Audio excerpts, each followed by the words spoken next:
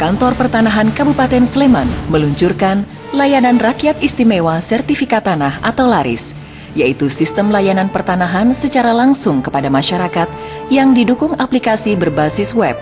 Laris dapat diakses di mana pun secara murah, mudah, dan cepat.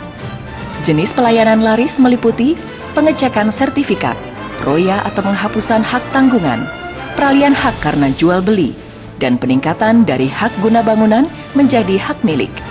Masyarakat juga bisa melakukan pengurusan sertifikat tanah secara massal melalui PRONA ataupun program lintas sektor, kerjasama kantor pertanahan dengan Dinas Pertanian, Perikanan, dan Kehutanan, Disprindakop, dan BRI Kabupaten Sleman. Pengajuan permohonan dilakukan secara kolektif. Dadine cepet, gampang, tor ora larang. Matur nuwun, sertifikat kula sampun dados.